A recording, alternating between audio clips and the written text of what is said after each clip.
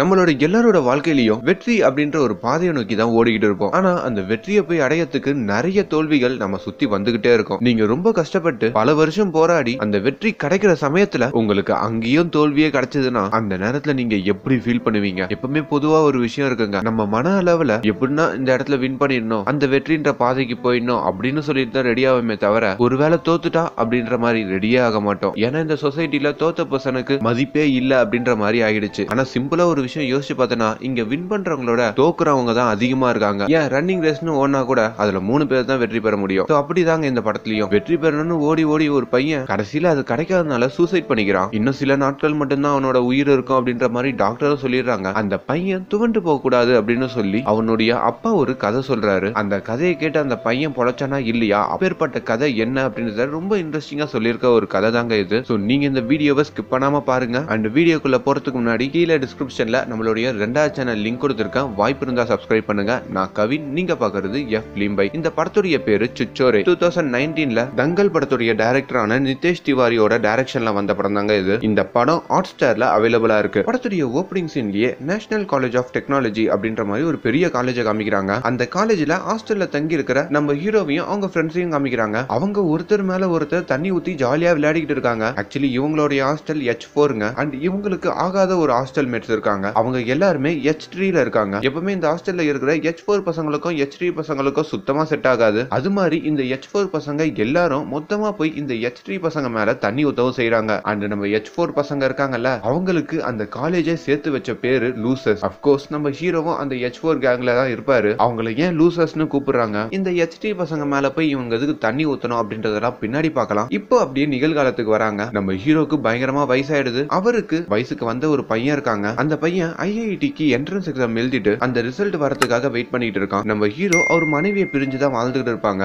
அதனால அந்த பையன் கொஞ்ச நாள் நம்ம ஹீரோ வீட்லயும் கொஞ்ச நாள் நம்ம ஹீரோயின் வீட்லயும் இருப்பான். என்னதான் அவங்க ரெண்டு பேருக்கு நடுவுல ஒரு பிரிவு இருந்தாலும் ஹீரோவோட பையன் இங்க ரெண்டு பேரு கூடயும் ரொம்ப ஜாலியாவே பேசுவான். அண்ட் இன்னொரு பக்கத்துல இந்த ரிசல்ட் டே இருக்கு பாத்தீங்களா? அதுவும் கொஞ்சம் கொஞ்சமா நெருங்கி வந்துகிட்டே இருக்கு. நம்ம ஹீரோவான அனிருத்தோ நீ மட்டும் இந்த எக்ஸாம்ல பாஸ் ஆயிட்டனா உனக்கு ஒரு பெரிய பாட்டில் கிஃப்டா கொடுக்குற. நம்ம ரெண்டு பேரும் ரொம்ப ஜாலியா டைம் ஸ்பெண்ட் பண்ணலாம் அப்படின்ற மாதிரி சில பிளான் எல்லாம் பண்ண ஆரம்பிக்கிறாரு. இன்னொரு பக்கத்துல அந்த பையனுடைய அம்மா நீ எக்ஸாம்ல பாஸ் ஆவறியோ பாஸ் ஆகலையோ அதை பத்திலாம் கவலைப்படாத. உங்க அப்பா ப்ரெஷர் பண்ணிக்கிட்டே இருப்பாரு. அதை பத்தி நீ நினைக்காத. நீ ஜாலியா இரு அப்படின்ற மாதிரி கொஞ்சம் என்கரேஜிங்கா பேசிக்கிட்டு இருக்காங்க. ஐஐடி என்ட்ரன்ஸ் எக்ஸாம் அப்படின்றதுனால அந்த பையன் பல மாசம் நைட் எல்லாம் தூங்காம என்டர்டைன்மெண்ட் டிவின்னு எதுவுமே பார்க்காம ரொம்ப சின்சியரா படிச்சிருப்பான். அதுக்கான ரிசல்ட்டை அவனுடைய ஃப்ரெண்டு வீட்டுல போய் பாத்துக்கிட்டு இருக்கான். அவன் ஃப்ரெண்டு கூட உட்காந்து என்ட்ரன்ஸ் எக்ஸாம் எழுதிருக்காங்க அவனுடைய ஃப்ரெண்டு இவனோட ரிஜிஸ்டர் நம்பர்லாம் வாங்கி பார்க்கும் போது அவன் ஒரு அதிர்ச்சியான விஷயத்த பாக்குறான் டேய் மச்சான் நீ ஃபெயில் ஆயிட்டடா அப்படின்ற மாதிரி சொன்ன உடனே அவனுக்கு அந்த இடத்துல பயங்கரமா ஷாக் ஆயிடுது. உடனே இவனும் பையனுடைய ரிஜிஸ்டர் நம்பர்லாம் போட்டு பார்க்கும் போது ஃபெயில் தாங்க வருது. இந்த சின்ன பையனுக்கு ஒண்ணுமே புரியல. ரொம்ப கஷ்டப்பட்டு படிச்சோமே எல்லாமே போச்சு. என்னுடைய ஃபேமிலியில எங்க அப்பாவும் சரி எங்க அம்மாவும் சரி ரெண்டு பேரும் நல்லா படிச்சு டிகிரி வாங்கினாங்க. நான் இப்ப உருப்படாம போயிடுவோம் போல இருக்கேன்னு சொல்லிட்டு ரொம்ப ஃபீல் பண்ண ஆரம்பிக்கிறான். இந்த ஃபெயிலியரை நம்மளால அக்செப்டே பண்ணிக்க முடியல அப்படின்ற மாதிரி சொல்லி கீழேயே குதிச்சு சூசைட் அட்டம் பண்றாங்க. இதெல்லாம் ஒரு பக்கத்துல இருந்து பார்த்துட்டு இருந்தா அவனோட ஃப்ரெண்டுமே பயங்கரமா ஷாக் ஆகி இந்த தகவலை கொண்டு போயிட்டு நம்ம ஹீரோக்கு கால் பண்ணி சொல்றான். அங்க நம்ம ஹீரோக்கு ஒண்ணுமே புரியல. என்னது என்னோட புள்ள சூசைட் பண்ணிக்கிட்டானா? அவன் எக்ஸாம்ல பாஸ் ஆயிடுவான்ல நினைச்சேன் அப்படின்ற மாதிரி மாதிரி பதறி அடிச்சுக்கிட்டு வேகமா ஹாஸ்பிட்டல் ஓடி வராரு. இங்க வந்தா நம்ம ஹீரோயின் அழுதுகிட்டே உட்காந்துருக்காங்க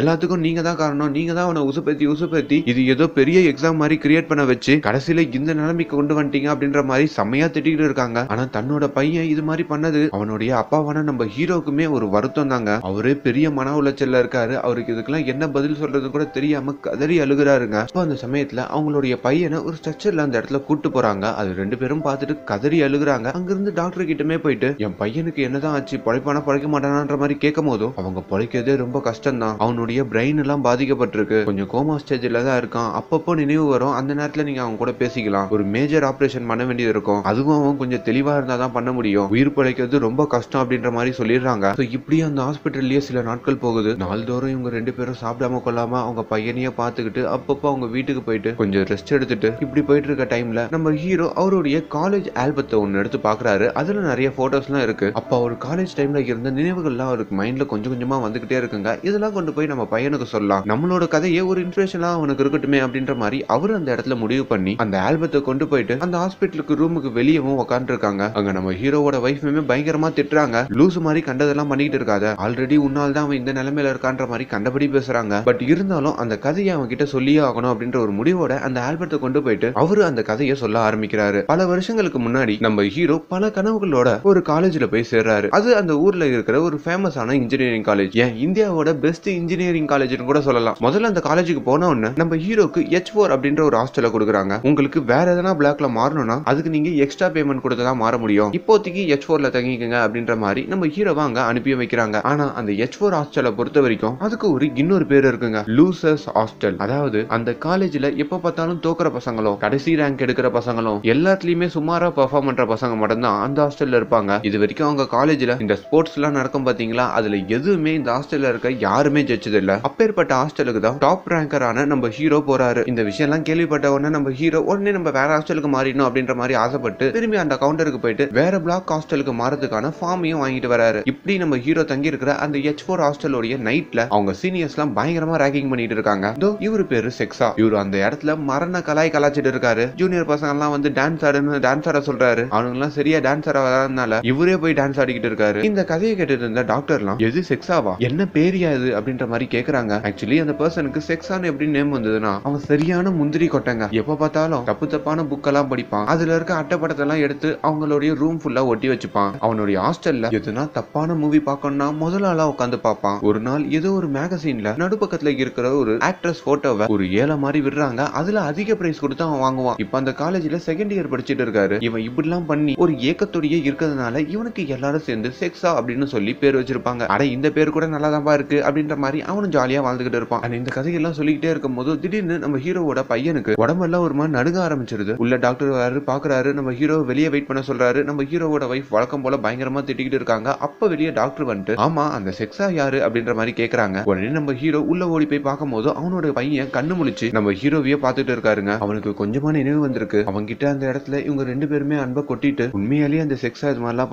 பண்ணாரா அப்படின்ற மாதிரி அந்த பையனும் கேட்கும் போது ஆமா சொல்லிட்டு நீ கொஞ்ச நேரம் ரெஸ்ட் எடு. அதுக்கப்புறம் வந்து நாங்க கதையை சொல்றோன்ற மாதிரி. அங்க இருந்து கிளம்பி மெடிசன் எல்லாம் வாங்கிட்டு இந்த கதையெல்லாம் நம்ப வைக்கிறதுக்கு நம்மளுடைய செக்ஸாவே இந்த இடத்துக்கு கூப்பிட்டா என்ன? ஏன்னா நான் சொல்றதை விட என்னோட ஃப்ரெண்ட்ஸ் எல்லாம் வந்து இந்த கதையை சொன்னா என் பையனுக்கு இன்னும் நம்பிக்கை வரும் அப்படின்ற மாதிரி நம்ம செக்ஸா இருக்காங்க பாத்தீங்களா? அவருக்கு நம்ம ஹீரோ கால் பண்றாரு. பல வருஷங்களுக்கு அப்புறம் கால் பண்றாருங்க. அவர் துபாயில ஏதோ ஒரு பிசினஸ் பண்ணிக்கிட்டு இருக்காரு. ரொம்ப பெரிய ஆளா இருக்காரு. ஆனா தன்னோட ஃப்ரெண்டு கால் பண்ண உடனே ஏ மச்சா என்னடா எவ்வளவு நாள் பொத்து கால் பண்ற? கூட பேசி எவ்வளவு நாள் ஆச்சு? நீங்களாம் ஒரே வெறுப்பா ஒரு மீட் அப்ப போடுவோம்டா அப்படின்ற மாதிரி லோக்கலா பேச ஆரம்பிச்சிடுறாரு. நம்ம ஹீரோவுமே அவன் பையனுக்கு நடந்த எல்லா விஷயத்தையுமே நம்ம செக்ஸா கிட்ட சொல்றாங்க. இதெல்லாம் கேட்டு அவர் பயங்கரமா ஷாக் ஆகி நீ ஒன்னும் கவலைப்படாத நான் உடனே அங்க வரேன் அப்படின்னு சொல்லிட்டு அவனுடைய அப்பாயின்மெண்ட்ஸ் எல்லாமே கேன்சல் பண்ணி அவன் இந்தியா கிளம்பி வரான். நம்ம ஹீரோவையும் ஹீரோயினும் பார்த்த உடனே அவங்கள நல்லா விசாரிச்சுட்டு அவங்களோட பையனையும் போய் பாக்குறான் அவங்க கிட்டயுமே போயிட்டு ரொம்ப ஜாலியா பேசிட்டு அந்த இடத்துல இருந்து திரும்பி அவங்களுடைய கதைகளை சொல்ல ஆரம்பிக்கிறாங்க. நம்ம ஹீரோ ஹாஸ்டல் மாறலாம் அப்படின்ற மாதிரி நினைக்கிறப்போ நம்ம செக்ஸா தான் போய் தடுத்து இருப்பாரு அது வரைக்கும் நம்ம ஹீரோக்கு ஒரு சீனியரா இருந்த நம்ம செக்ஸா அந்த நொடியில இருந்து ஒரு பெஸ்ட் ஃப்ரெண்டாவே மாறி இருப்பாரு அவங்க ரெண்டு பேருமே காலேஜ்ல இருக்க நிறைய பொண்ணுங்களை சைட் அடிச்சுட்டு இருக்கும் போதும் அப்பதான் நம்ம ஹீரோயின் என்ட்ரி கொடுக்குறாங்க. நம்ம ஹீரோயினை பார்த்த உடனே நம்ம ஹீரோ விழுந்துடுறாரு. பட் இருந்தாலும் அந்த இடத்துல எட்டி பார்க்கும் போது நம்ம ஹீரோ மாதிரியே பல பசங்க நம்ம ஹீரோயினை ஃபாலோ பண்ணிட்டு இருக்காங்க. ஒரு பக்கத்துல நம்ம செக்ஸாவுக்குமே நம்ம ஹீரோயினை பிடிச்சிருக்கோம். பட் பயப்புல லவ் பண்ணிட்டு போட்டுமே அப்படின்ற மாதிரி நம்ம ஹீரோக்கு விட்டு கொடுத்துருப்பாரு. இப்ப அப்படியே கட் பண்ணி நிகழ்காலத்தை காமிக்கிறாங்க. இவங்க மூணு பேரும் ஒன்னா உட்காந்து பேசிட்டு இருக்கும் போது நீங்க ரெண்டு பேரும் பிரிஞ்சுவீங்க நான் நினைச்சு கூட பார்க்கலன்ற மாதிரி நம்ம செக்ஸாவும் சொல்லிட்டு இருக்காரு. அண்ட் நம்ம இந்த இடத்துக்கு எல்லா ஃப்ரெண்ட்ஸையும் வகுப்புலாம் எல்லாரையும் வர வைக்கலாம். உன்னோட பையனுக்கு நம்மளோட கதைகள்லாம் சொல்றது மூலியமா அதுவும் அவங்கவுங்களே வந்து சொல்றது மூலியமா இன்னும் கூட பூஸ்ட் அப் ஆவா அப்படின்ற மாதிரி சொல்லி அந்த இடத்துல ஒரு சின்ன பிளாஷ்பேக் உனக்கு மம்மியை ஞாபகம் இருக்கா அப்படின்ற மாதிரி கேட்கறாங்க ஆக்சுவலி உங்க காலேஜ் படிக்கிற டைம்ல மம்மி அப்படின்னு சொல்லிட்டு ஒரு பையன் இருப்பாங்க. அவனுக்கு மம்மின்னு எப்படி பேர் வந்ததுன்னா அவனுக்கு அவங்க அம்மானா ரொம்ப பிடிக்கும்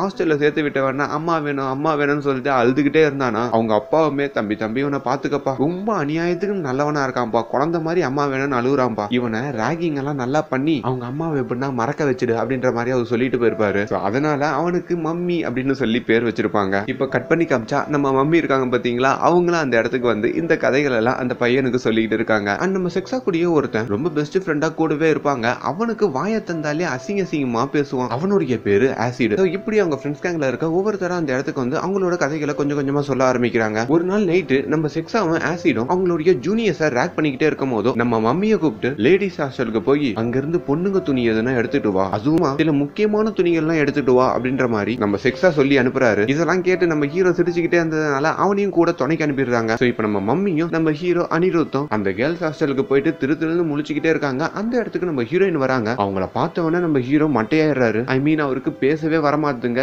கண்டமேனிக்கு வளரிக்கிட்டு இருக்காரு. அந்த இடத்துல எப்படியோ கண்ட்ரோல் பண்ணி நம்ம மம்மி இந்த விஷயத்தெல்லாம் அந்த பொண்ணுகிட்ட சொல்லி அந்த பொண்ணுமே சரி ஓகே உங்களுக்கு ஹெல்ப் பண்றேன்னு சொல்லி அவங்க ஹாஸ்டல்ல இருக்கிற சில துணிகள்லாம் எடுத்துட்டு வந்து இவங்க கிட்ட கொடுக்குறாங்க. இவங்களும் அந்த துணிகள்லாம் எல்லாம் எடுத்துட்டு போயிட்டு அவங்களுடைய சீனியரான செக்ஸா கிட்ட கொடுத்து அது மட்டும் இல்லாம நம்ம மம்மியோட அண்டர்வேர் இருக்கு பாத்தீங்களா? அதுவும் ஒரு பொண்ணோட துணி தான் அப்படின்னு சொல்லி நம்ம செக்ஸா கிட்ட கொடுக்குறாங்க. அதுல மயங்கி நம்ம செக்ஸா அந்த துணியெல்லாம் மூஞ்சில போட்டுக்கிட்டு ஜாலி ஜாலின்னு ஆடுறாரு. அதுக்கப்புறம் அது என்னுடைய ஜெட்டியா அப்படின்னு சொன்ன உடனே அந்த இடத்துல எல்லாரும் நம்ம செக்ஸாவை பயங்கரமா கலாய்க்க ஆரம்பிக்கிறாங்க. சோ இப்படி சொன்ன உடனே இந்த பையனுமே ரொம்ப குஷியாயிடுறான். அடப்பாவி என்னெல்லாம் சேட்டை பண்ணிருக்கீங்கடா அப்படின்ற மாதிரி நினைச்சுக்கிட்டு இருக்கான். சோ அதுக்கப்புறத்துல இருந்து இவங்களுடைய ஹாஸ்டல் டைம் ரொம்ப ஜாலியா போயிட்டு இருக்குங்க. இப்படி பசங்க தூயின்னு இருக்கும் போது அவங்க கதுல போய் பட்டாசு வைக்கிறது நம்ம ஹீரோ அப்பப்போ நம்ம ஹீரோயினை பார்த்து துணி வாங்குறது. சீனியர்லாம் என்ன உங்க கூட காஃபி குடிக்க சொன்னாங்க அப்படின்னு சொல்லிட்டு சும்மா ஜாலியா உட்காந்து கடலை போடுறது. ஒரு நாள் சீனியர் சொன்னாங்கன்னு சொல்லி இந்த பயப்புள்ள ஏமாத்தி நம்ம ஹீரோயினை படத்துக்கெல்லாம் கூட்டு போயிட்டாங்க.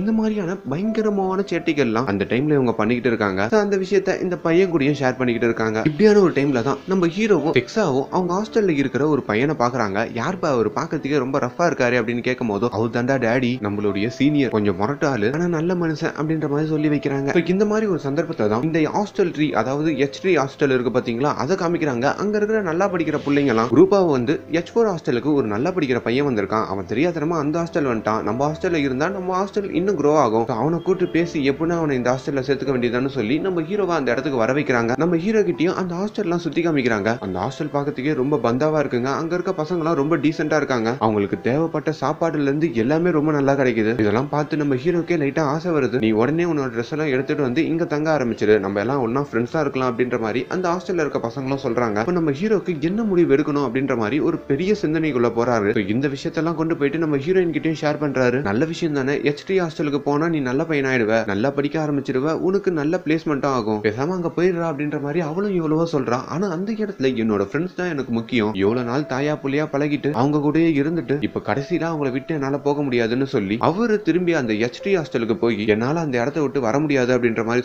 சொல்றாரு அங்க இருக்க பசங்க எல்லாம் கேலி பண்ணி பயங்கரமா சிரிக்க ஆரம்பிச்சிடுறாங்க. அங்க இருக்கவனுங்களே லூசர்ஸ் அவனுங்க கூட குப்பை கொட்ட போறேன்னு சொல்லி அதுவும் நீ வந்து சொல்ற பத்தியான்னு சொல்லி நம்ம ஹீரோவா அந்த இடத்துல இருந்து விரட்டியும் விட்டுறாங்க அப்படி விரட்டி விட்ட சமயத்துல தான் நம்ம ஹீரோ டேடி அப்படின்னு சொல்லிட்டு ஒரு பர்சனை சொன்னோம் பாத்தீங்களா? அவனை பாக்குறாங்க. இப்ப அப்படியே கட் பண்ணி நிகழ்காலத்தை காமிக்கிறாங்க. நம்ம டேடிக்கு சொட்ட மண்டலாம் வந்து அவரு நம்ம ஹீரோவோட பையனை பாக்கிறதுக்கு அந்த ஹாஸ்பிட்டலுக்கு வராங்க. அங்க இருக்க இவங்களோட ஃப்ரெண்ட்ஸ் எல்லாம் நம்ம டேடியை பார்த்து அடையாளமே தெரியலீங்க. அதுக்கப்புறம் நம்ம டேடிடா அப்படின்னு சொல்லிட்டு எல்லாரும் வந்து அவனை கட்டி பிடிச்சிக்கிட்டு அந்த பையன் கிட்ட போயிட்டு அவரு திரும்பி அவரோட கதைகளை சொல்ல காமிக்கிறாரு நம்ம ஹீரோ ரொம்ப சோகமா இருக்கும் போதும் அங்க இருக்கிற ஒரு லேபுக்கு கூட்டு போயிட்டு என்னென்னத்தையும் கலந்து கொடுத்துட்டு இது குடிச்சு பாரு நல்லா இருக்கும்ன்ற மாதிரி இவங்க ரெண்டு பேரும் குடிக்கவும் செய்யறாங்க அதுக்கப்புறம் அந்த எச் ஒரு ஹாஸ்டல் எதுக்கு தோத்துக்கிட்டே இருக்கு? அப்படின்ற மாதிரி ஒரு ஹிஸ்டரியும் அந்த டேடி சொல்லிக்கிட்டு இருக்காரு. அண்ட் ரொம்ப முக்கியமா அவங்க காலேஜ்ல ஜிசி அப்படின்னு சொல்லி சில போட்டிகள்லாம் நடத்துவாங்க. கிட்டத்தட்ட இந்த ஒலிம்பிக் போட்டி மாதிரி நிறைய போட்டிகளை நடத்துவாங்க. ஆனா என்ன எல்லாமே இந்த காலேஜுக்குள்ளேயே நடத்துவாங்க. அந்த போட்டிலாம் ரொம்ப ஃபேமஸ்ங்க அதுல அந்த காலேஜ் பசங்க மட்டும்தான் கலந்துக்க முடியும். அப்படிப்பட்ட போட்டியில இது வரைக்கும் இந்த எச் ஃபோர் ஹாஸ்டல்ல இருக்க பசங்க ஜெயிச்சதே இல்லைங்க. அதனால தான் இவங்களுக்கு லூசர்ஸ் அப்படின்ற ஒரு பட்டத்தையும் கொடுத்துருப்பாங்க. கடைசியா நடந்த இந்த அஞ்சு டோர்னமெண்ட்ல வேற இந்த எச் த்ரீ பசங்க தான் ஜெயிச்சிருப்பாங்க. ஸோ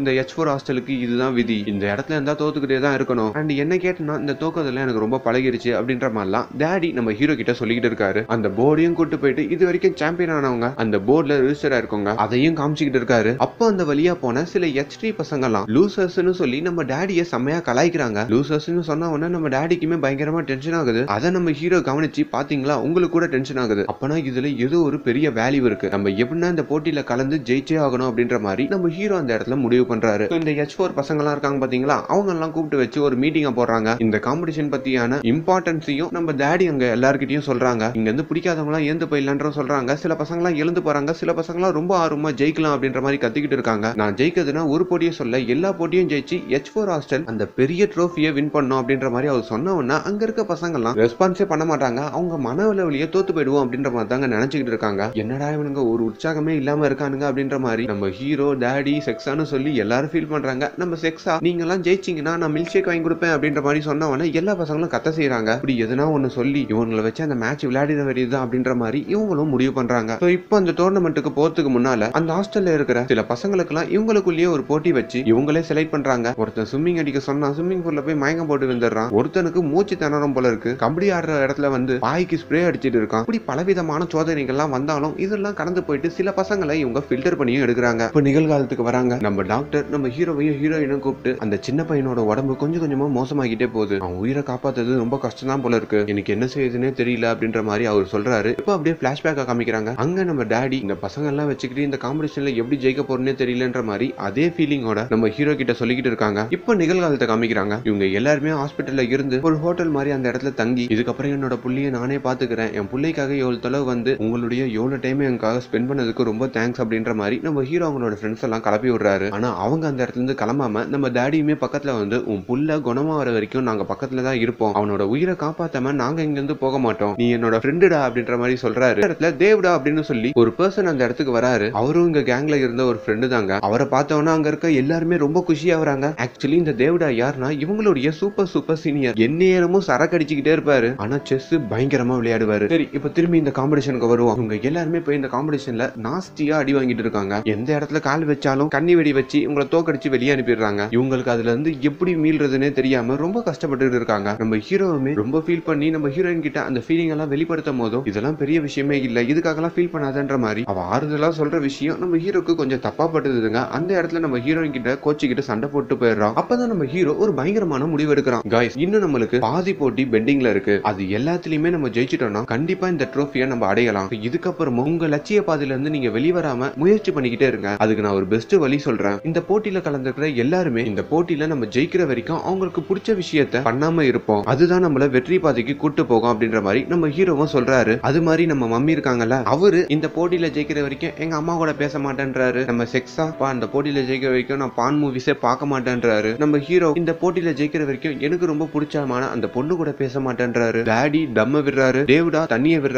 ஆசிட் கெட்ட வார்த்தை பேச மாட்டேன் அப்படின்னு சத்தியம் பண்றான். ஸோ இப்படி எல்லா விஷயத்தையும் ஒரு மோட்டிவா எடுத்துக்கிட்டு இவங்க அந்த போட்டிக்காக மும்மரமா ட்ரை பண்ணிக்கிட்டு இருக்காங்க. ஆனா அந்த போட்டியில இன்னும் ஈஸியா வெற்றி பெறணும் அப்படின்னு சொல்லி ஒரு பிளானையும் பண்றாங்க. ஆக்சுவலி எதிரிகளை வெறுப்பேத்தனா கண்டிப்பா இந்த போட்டியில நம்ம வெற்றி பெறலாம் அப்படின்னு சொல்லி அந்த போட்டி நடந்துட்டு இருக்க சமயத்துல ப்ரௌடா இருந்து இவங்க கத்தலாம் அப்படின்னு சொல்லியும் முடிவு பண்றாங்க. இப்படியே எப்படின்னா வெறுப்பேத்தி வெறுப்பேத்தி ஜெயிச்சிடலாம் அப்படின்ற மாதிரி இவங்களுக்குள்ள பேசி ஒரு ஸ்லோகனையும் ரெடி பண்றாங்க. அண்ட் இன்னொரு பக்கத்துல இந்த தேவடா சரக்க விட்டாரு பாத்தீங்களா? அது மூலியமா அவருக்கு பயங்கரமா வயிறு வலி வந்து ஹாஸ்பிட்டல்ல அட்மிட் ஆகவே செஞ்சிடறாரு. இனத்தில் உங்களுக்கு செஸ் கேம் எல்லாம் இருக்கு. இது மாதிரி ஹாஸ்டல் வந்து படுத்துட்டீங்களே. சரி ஓகே உடம்ப பாத்துக்குங்க. எப்படின்னா அதுக்குள்ள வந்து எங்களை காப்பாத்திருங்க தல அப்படின்ற மாதிரி அவரையும் ரெஸ்ட் எடுக்க சொல்லிட்டு இவங்க அந்த போட்டியில கலந்துக்க போறாங்க. இப்படி ஆப்பனண்ட்டை வெறுப்பத்தி வெறுப்பத்தியே நிறைய போட்டிகள்ல இவங்க வெற்றி பெறாங்க. தொடர்ந்து முன்னேறிக்கிட்டே இருக்காங்க. அண்ட் இன்னொரு பக்கத்துல எத்தனையோ தடவை நம்ம ஹீரோ கிட்ட நம்ம ஹீரோயின் நெருங்கி பேசணும் பேசணும் வராங்க. ஆனா நம்ம ஹீரோ அவாய்ட் பண்ணிக்கிட்டே இருக்காரு. அவங்களுக்கு இந்த காரணம் எல்லாம் ஒண்ணுமே புரியலீங்க. அப்பதான் நம்ம செக்ஸா இந்த விஷயத்தெல்லாம் சொன்ன உடனே அவங்களுமே மனசு உருக ஆரம்பிக்கிறாங்க. எது எதுக்கோ ஒரு பொண்ணு கூட பேசாம இருக்கவங்க எல்லாம் ஆனால் ஆனா இதுக்காக பேசாம இருக்க பத்தியா?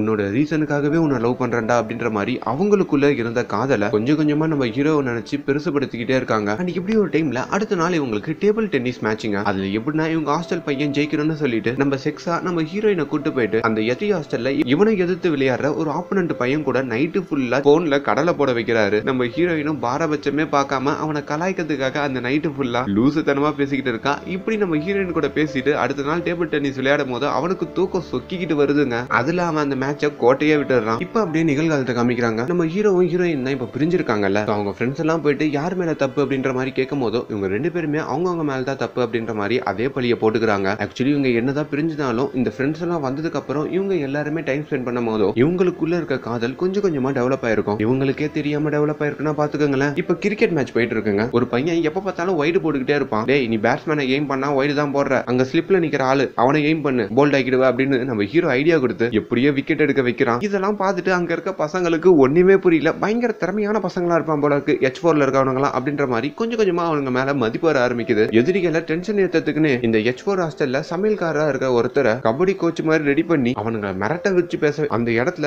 ஏதோ அட்வைஸ் கொடுக்குற மாதிரி சும்மா பில்டப் எல்லாம் காமிக்கிறாங்க. அந்த பில்டப்பை பார்த்துட்டே அவனுங்க தோத்து போயிடுறானுங்க. ஃபுட்பால் மேட்ச்ல நம்ம செக்ஸா போயிட்டு மத்த பசங்க அடிக்கிறதுக்கு முன்னாடியே கீழே விழுந்து ஃபவுல் வாங்கி பவுலு வாங்கி இவரு ஜெயிச்சிடுறாரு. இதெல்லாம் அந்த நைட்டு சரக்கடிச்சு ஜாலியா கொண்டாடிக்கிட்டே இருக்கும் போது இந்த எச்டி பசங்களுக்கும் எச் ஃபோர் பசங்களுக்கும் பயங்கரமா சண்டை வந்ததுங்க. இந்த சண்டை எல்லாம் பார்த்தா நம்ம மம்மிக்கு சுத்தமா ஆகாது. என்ன இது? சண்டைலாம் போடுறாங்களேன்னு சொல்லிட்டு ஓரமா நின்று வேடிக்கை பார்த்தா அவருக்கு கையில அடிபட்டுருது. என்னடா இது? சும்மா வேடிக்கை பார்த்தா நம்மளுக்கு அடிபட்டுருச்சுன்னு சொல்லி டாக்டர் கிட்ட போகும்போது அவருடைய விரல் பயங்கரமா வீங்கிருது. அவருக்கு வேற நாளைக்கு கேரம் போர்டு மேட்ச் இருக்குங்க. ஐயோ இவனுக்கு வேற கோல்டு மெடல் வரலனா நம்ம பின்னாடி போயிடுவோமே என்னடா பண்றது? அப்படின்ற மாதிரி இவங்க எல்லாம் யோசிச்சுக்கிட்டே இருக்கும் போதோ அதெல்லாம் என்னால முடிய மச்சான். நான் போய் நாளைக்கு என்னோட திறமையை காட்டுறேன்னு சொல்லி அந்த கையில இருக்க காயத்தை கூட பெருசா எடுத்துக்காம அடுத்த நாள் அந்த போர்ட்ல போய் உட்காந்து வடச்சென்ன தனுஷ் மாதிரி. சும்மா தட்டி விடுறாருங்க. அப்படி விட்டதுல அவர் கை பல ஆயிடுது ஐயோ அம்மான்னு கத்திக்கிட்டே அந்த மேட்சை எப்படியோ தோக்க செஞ்சிடுறாரு. இதுக்கு தான் எவ்வளவு பில்டப்பா அட போங்கயா அப்படின்னு சொல்லிட்டு அவங்க ஃப்ரெண்ட்ஸ் அங்க வந்து கிளம்பிடுறாங்க. எப்படின்னா நம்ம கோல்டு மெடல் ஜெயிச்சே ஆகணும். அப்பதான் அவங்க பாயிண்ட்ஸ் கொஞ்சமாச்சும் நெருங்க முடியும். என்னடா பண்றதுன்னு யோசிச்சுக்கிட்டே இருக்கும் போதும் அப்பதான் ஃபார்ட்டி டூ கேஜிக்கான இந்த வெயிட் தூக்குற ஒரு கேட்டகரியை பாக்குறாங்க. நாற்பத்தி ரெண்டு கிலோல யாரா இருக்கா அப்படின்னு தேடி பார்க்கும் போதும் ஒருத்தர் ரொம்ப ஒல்லியா வந்து எங்க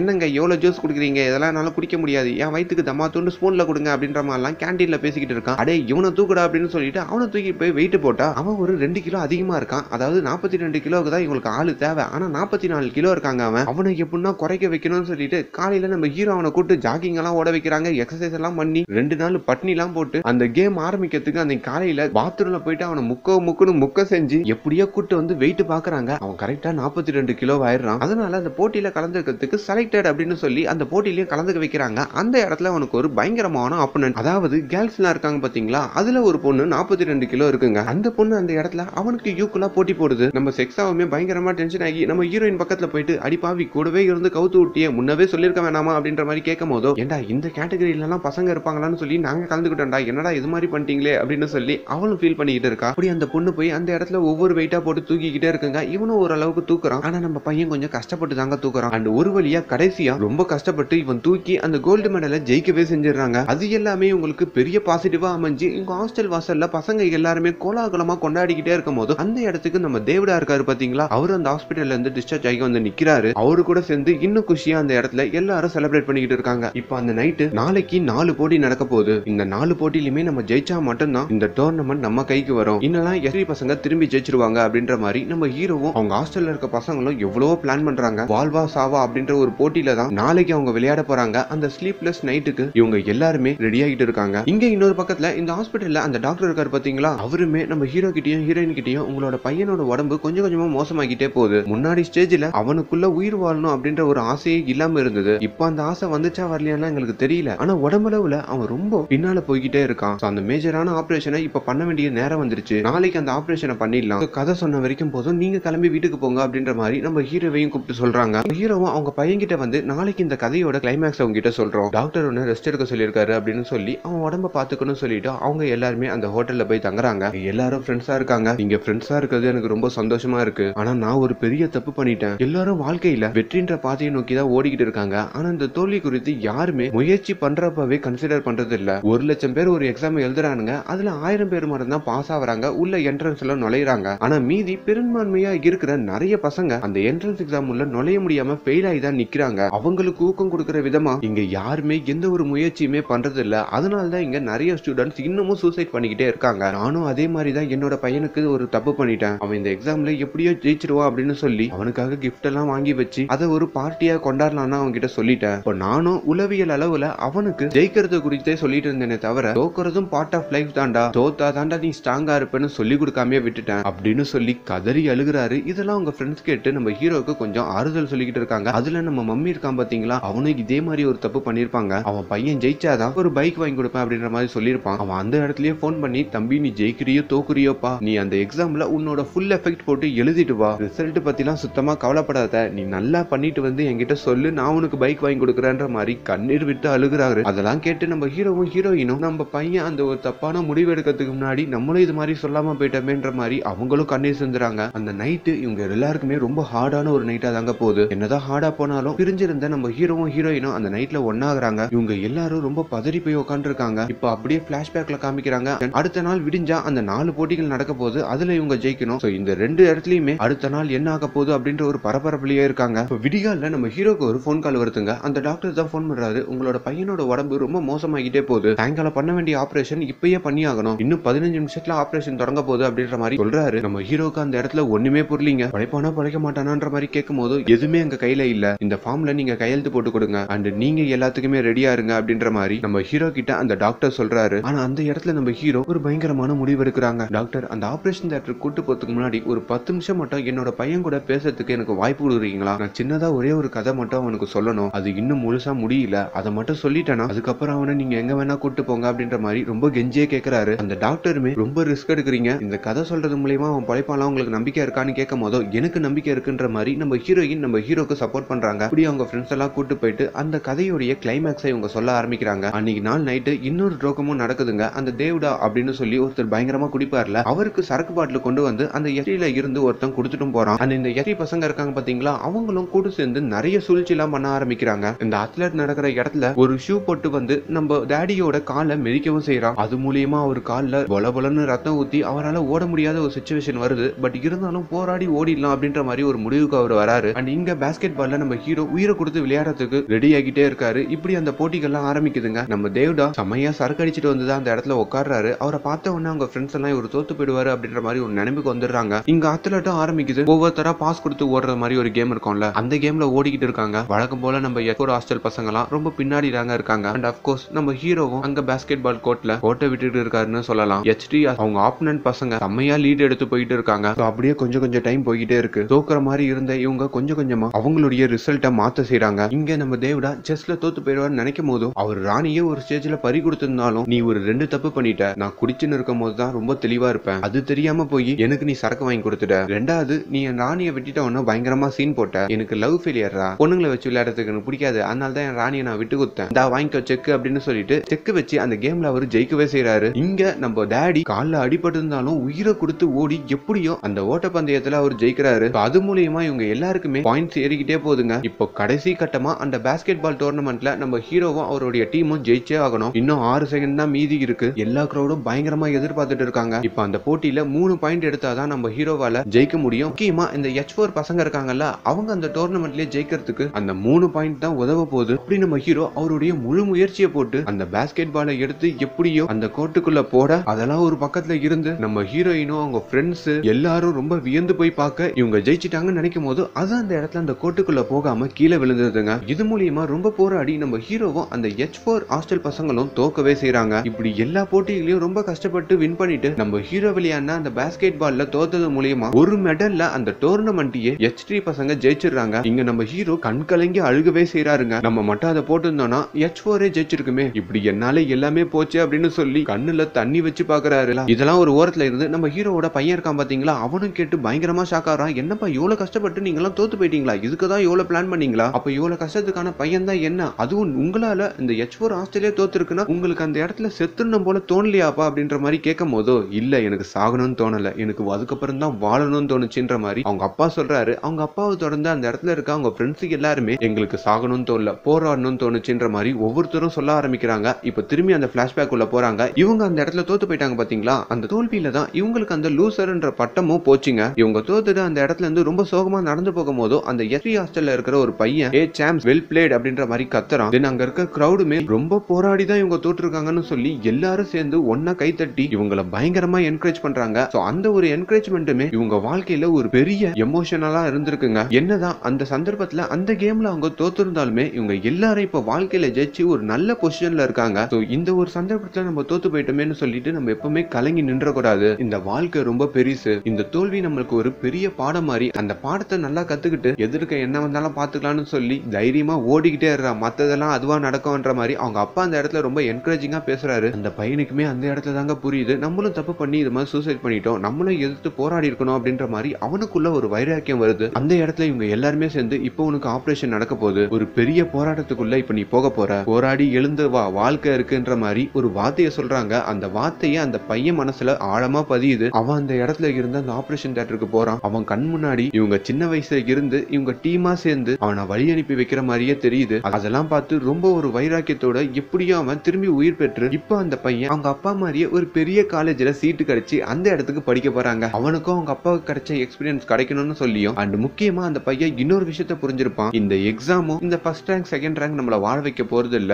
ஒரு நல்ல ஃப்ரெண்ட்ஷிப் தான் காலகாலத்துக்கும் நம்ம வாழ வைக்க போகுது. அந்த ஃப்ரெண்ட்ஷிப்பை இந்த இடத்துல இருந்து நம்ம உருவாக்கணும் அப்படின்ற மாதிரி ஒரு வைராக்கியத்தோட அந்த காலேஜ்ல சேர்ந்து அவனுடைய வாழ்க்கையை தொடங்க ஆரம்பிக்கிறான். சோ இப்படி ஒரு மோட்டிவேஷனலான கிளைமேக்ஸோட இந்த படத்தோட கதை முடியுது. அண்ட் எல்லா மெசேஜுமே இந்த படத்துலயுமே சொல்லியிருப்பாங்க. சோ தோல்வியை கண்டு கலங்கி போய் ஒரு இடத்துல நிக்காம தொடர்ந்து ஓடிக்கிட்டே இருப்போம். தோல்விகளை ரசிக்க ஆரம்பிப்போம். நீங்க தோல்வியை ரசிக்க ஆரம்பிச்சிட்டீங்கன்னா வெற்றி ஒரு சாதாரண விஷயம் ஆயிடுங்க அண்ட் இன்னொரு முக்கியமான விஷயம் நல்ல நண்பர்களை எப்பவுமே கூட வச்சுக்கோங்க. இதெல்லாம் கிடைக்கணும். ஒரு கொஸ்டின் இல்லாம நம்மளுக்கு ஹெல்ப் பண்ணணும் அப்படின்ற ஒரு எண்ணத்துக்காக மட்டும் வச்சுக்காதீங்க. உயிருக்கு உயிரா ஒரு நண்பன் கூட இருந்தா உங்க வாழ்க்கையில வெற்றி வந்தாலும் சரி தோல்வி வந்தாலும் சரி எல்லாமே கடந்து போய்கிட்டே இருப்போம். அண்ட் மேலும் இந்த மாதிரியான வீடியோஸை தொடர்ந்து பார்க்கறதுக்கு எஃப்லிம் பை சப்ஸ்கிரைப் பண்ணுங்க. Thank you so much